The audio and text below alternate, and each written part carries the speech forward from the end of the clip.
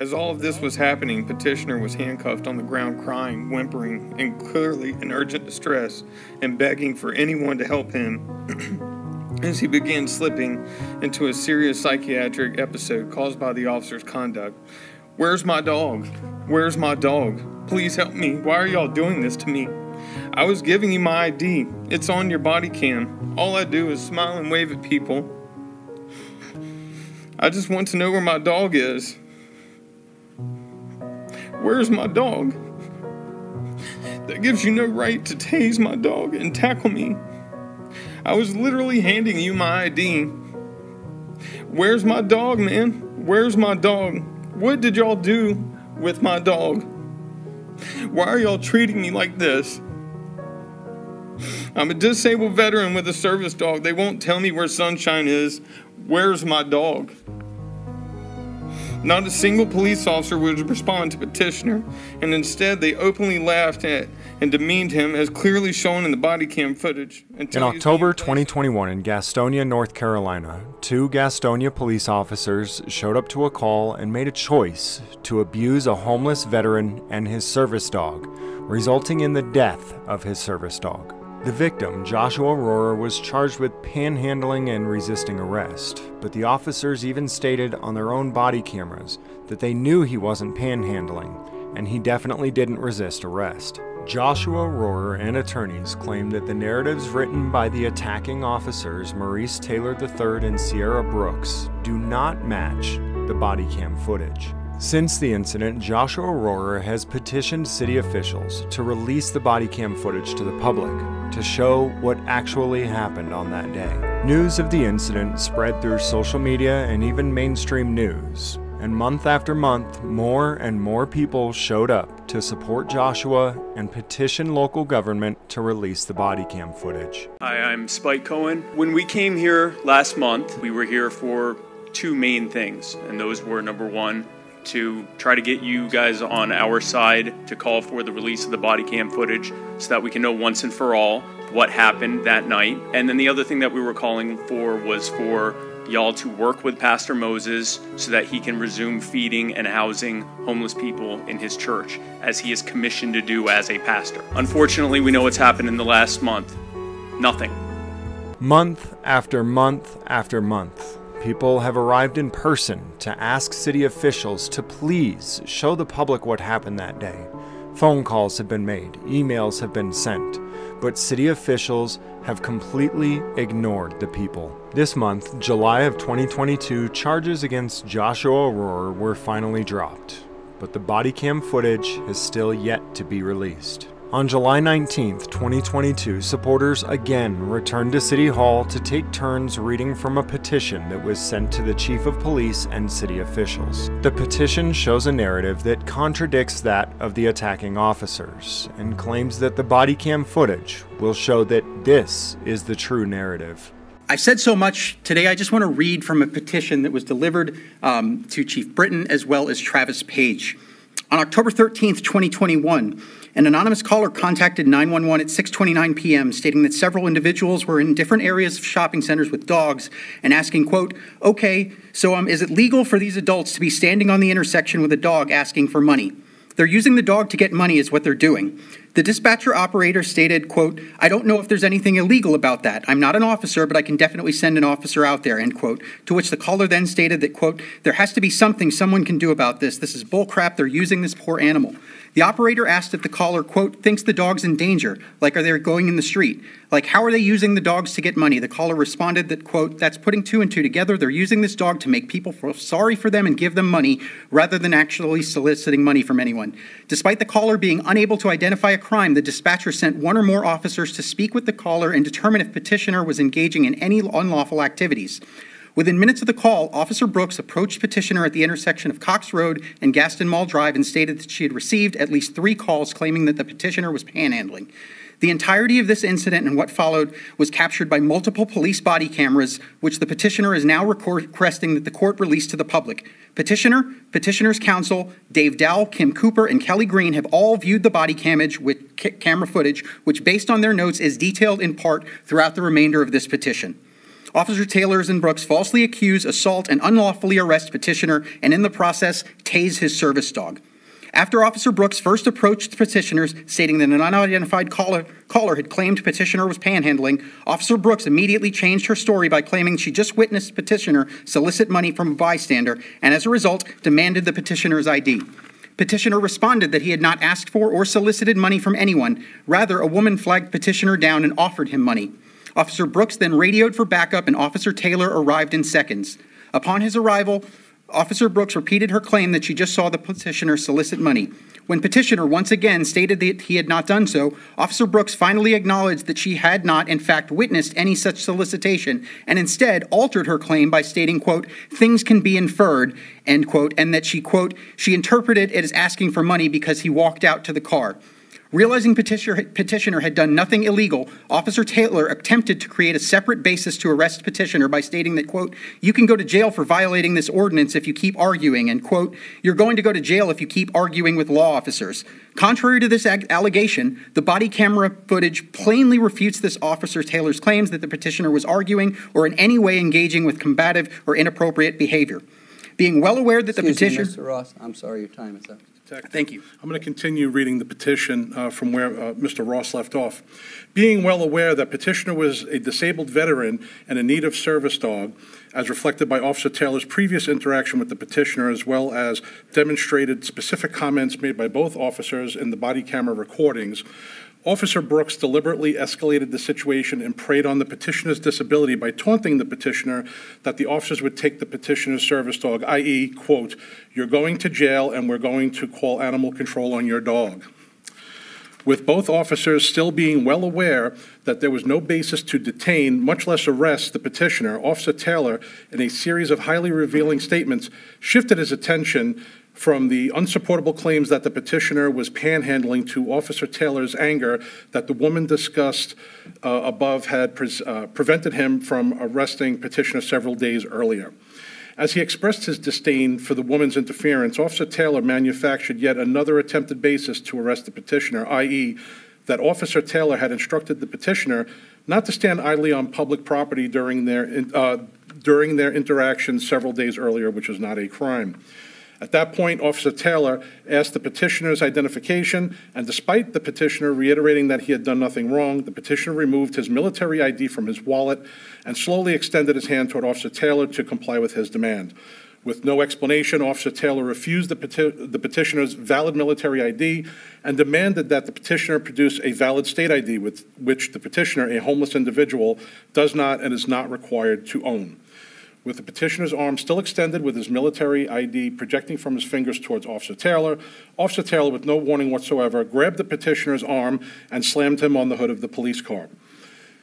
When this occurred, Sunshine was sitting in her bed approximately 10 feet from the petitioner, Officer Taylor, and Officer Brooks. However, based on the amount of force used, in addition to the officer's deliberate and unnecessary use of extremely painful submission tactic on the petitioner's arms, the petitioner yelled, "Somebody help me!" I'm sorry, excuse me. Quote, "Somebody help me!" End quote. Sensing panic, Sunshine moved towards the petitioner, jumped on the hood of the police car, and began licking the petitioner's face, which is what the petitioner's service dog is trained to do to assist the petitioner to manage panic attacks or PTSD episodes. Although Sunshine was not standing close to either of the officers, growling or engaging in any threatening behaviors, Officer Taylor, who at that point had moved approximately six feet away from both the petitioner and Officer Brooks, removed his taser and yelled at the uh, at petitioner to quote call your dog off end quote. As instructed, petitioner ordered Sunshine to get down from the car, which she did, after which Sunshine stood calmly to the left of the petitioner and several feet from Officer Brooks, who was located to the petitioner's right side. Petitioner, who was not struggling or Mr. resisting. Garcia, your time is up. Thank you. and perhaps the most egregious action of this incident, which is shown unmistakable, which is shown with unmistakable clarity in the body cam footage. Officer Taylor, who was still standing approximately six feet away from the petitioner, Officer Brooks and Sunshine suddenly and falsely yelled that Sunshine had just bitten him, and with no justification whatsoever, fired his taser into the back of Sunshine, who was facing away from Officer Taylor. At the exact at at the exact moment where Officer Taylor falsely claimed that petitioner's service dog had bitten him, officer's body camera provided a clear and unobstructed view of Officer Brooks looking directly at Sunshine, which left no question that Officer Brooks knew without, with absolute certainty that Sunshine did not bite Officer Taylor and that Officer Taylor had fabricated this basis for tasing the petitioner's service dog.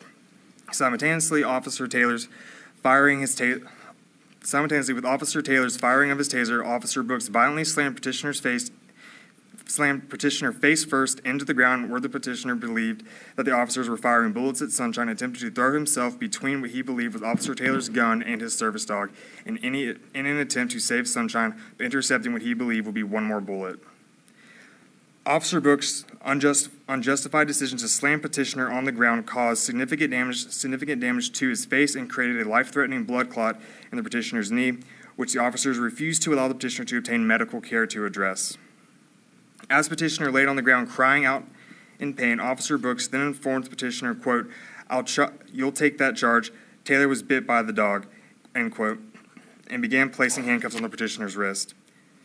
Critically, as, offers, as Officer Brooks was handcuffing petitioner, the body cam footage shows petitioner still holding the military ID that he attempted to provide to Officer Taylor, i.e., the fabricated justification of petitioner's of the for petitioner's detention and arrest. Officer Taylor and Officer Taylor and Brooks fabricate their story to deceive their colleagues and supervisors, as well as threaten and uh, disparage witnesses.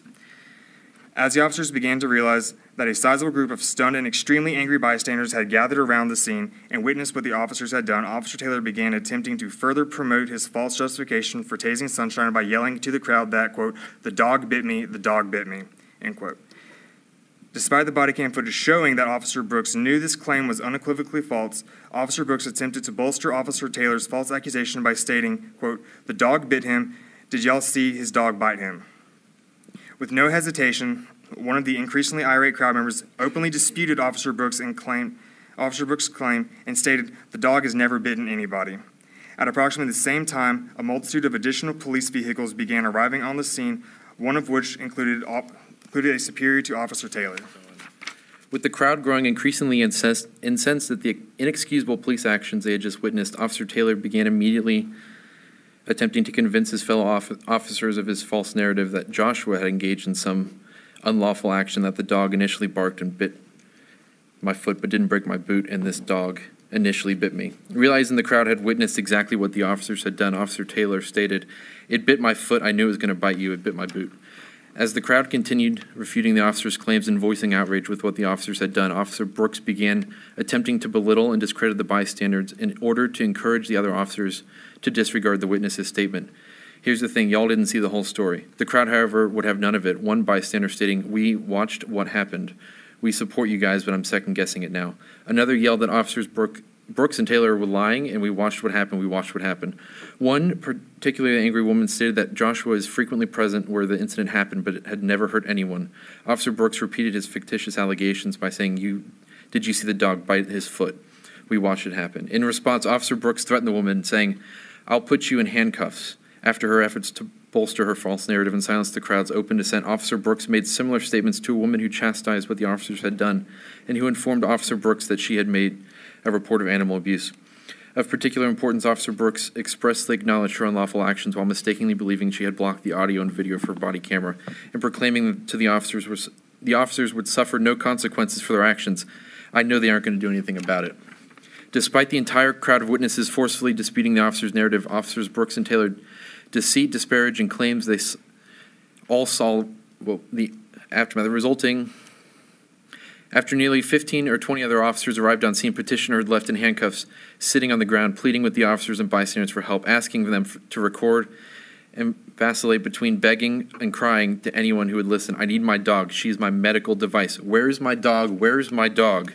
Furthering her attempts to convince her fellow officers to ignore the uniform statements and the crowd that officers Brooks and Taylor had unlawfully harmed Joshua and lied as to the events that occurred. Officer Brooks attempted to shape the narrative for the officers just arriving and begin making condescending statements to Joshua, such as, We politely asked for you for your ID, to which Joshua responded, I gave you my ID, which was verified by the body cam footage. That Joshua's ID was laying on the ground behind him and directly underneath the hand he provided used to provide to officers. Officers Brooks then began embellishing the dog bite story, claiming Sunshine bit Officer Taylor, who tased it before it could bite me. Disillusioned, Joshua responded, and the body cam footage confirms my dog was running away and you shot her when she was running away. I don't know where my dog is. Where is my dog? The officers ignored Joshua's pleas to find, protect, and obtain medical care for Joshua's dog and dismissed the critical need for Joshua to have access to his service dog in the very situation in which Sunshine he needed Sunshine the most. Mr. As more officers on the scene began asking questions based in part on the uniform angry responses from the crowd, Brooks and Taylor began struggling to select which theory they believed they could most effectively utilize to lie to their supervisors and fellow officers in order to conceal their unlawful actions. Despite acknowledging that she had never seen Petitioner panhandle, Brooks stated to Petitioner in front of uh, supervisors, Listen, I asked you to get your stuff and not panhandle. Brooks then altered her original description of petitioner's purported resisting actions from claiming petitioner refused to provide his ID to a newly fabricated claim that after Taylor told you that you were under arrest, you started to resist and I took you to the ground. This claim, like the others made by Taylor and Brooks, is directly refuted by the body camera footage being requested in this petition. Likewise, Taylor told his superior a very elaborate lie as to why he shot Sunshine with his taser, which began with his representations that his dog runs over to my foot and nips at my he nips at my foot. He doesn't nip, but he actually bites my boot, but it doesn't break my boot. At this point, I'm as Taylor continued attempting to promote this narrative, his superior looked directly at Taylor's boot that he claimed was bitten, which is captured clearly on the body camera, and sees there was no evidence of a bite, nibble, or even a scratch. Realizing his superior had seen through the dishonest story, Taylor nervously begins telling a more elaborate and demonstrably false story. Dog jumps on the hood, and I'm thinking it's going to bite Brooks at this point because the dog is obviously worried and it's going to try to protect its owner, and it already bit me. At this point, once it looks like the dog was about to cross to Brooks, I tased it because that was a logical thing to do. So my partner, it ran away. That was a logical thing to do instead of shooting the dog. You get what I'm saying? And so I can protect my partner because I'm not about to let my partner get bit by a dog. It's a very well trained dog, and I asked him to call the dog off. After it bit me, this can be seen on camera. Despite admittedly never witnessing petitioner engage in any panhandling or un- other unlawful activities, Taylor attempted to justify his use of force and decision to charge petitioner for standing on a public access way by claiming in front of his super- supervisor that Taylor had told petitioner not to remain on a public sideway and or other publicly available land, which is not a crime, several days earlier during his first interaction with petitioner.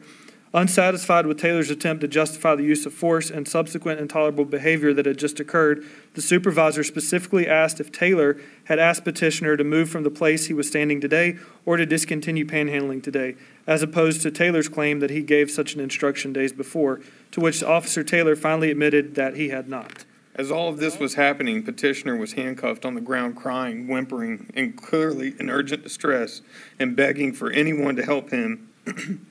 as he began slipping into a serious psychiatric episode caused by the officer's conduct. Where's my dog?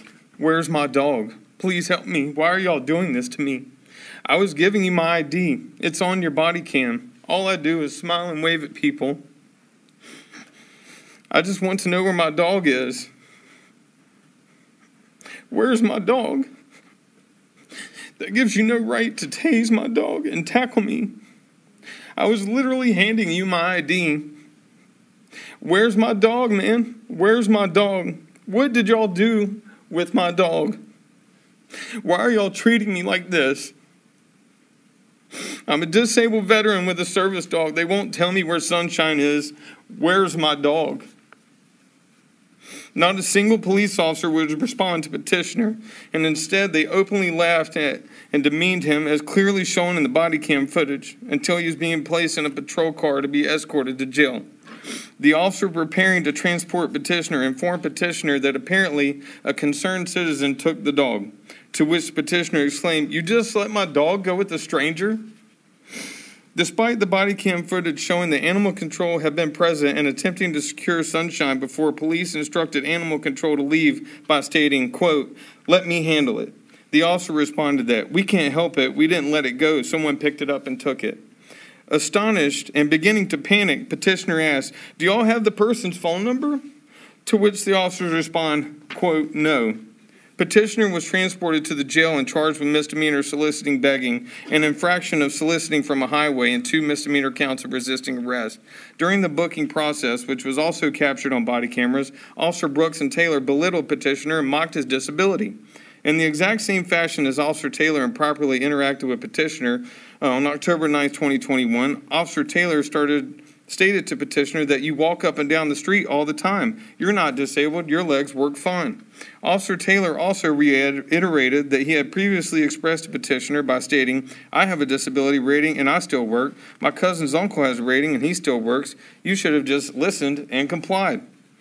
Officer Taylor and Brooks also abused their authority, which Magistrate Mark Oakes facilitated by insisting that petitioner's bond should be excessively increased by claiming petitioner, a homeless individual with no vehicle, no resources, and no history of missing court dates, was a flight risk. As a result, Magistrate Oakes imposed a $3,000 bond for incredibly minor offenses and also set the bond that petitioner could not utilize a bondsman, which required him, again, a homeless and deeply impoverished man, to pay entire amount. While petitioner was incarcerated, jail officers, despite police refusing to secure petitioner's service dog, brought Sunshine's service jacket to petitioner, which plainly demonstrated that the officers could and should have ensured Sunshine remained in their custody and was kept safe. One of the taser darts was still stuck through the back of the vest. Mr. Before Rourke. the arrest, Mr. Rourke, I'm don't sorry. your- interrupt Your him, time's sir. up. You keep speaking, brother. Johnny, watch the man's face. Before the arrest, Sunshine Service Jacket had two patches identifying her as a service dog and stating, "Do not separate from animal." Mr. However, Rourke. when the vest was provided to petitioner in jail, both patches have been removed in an apparent effort to conceal the officer's knowingly unlawful actions and violations of state and federal law by separating a prescribed service dog from her owner. As of today, July 23rd, 2022, the body cam footage is yet to be released. Contact information is in the description below, as well as links where you can help contribute to Joshua if you'd like to do so.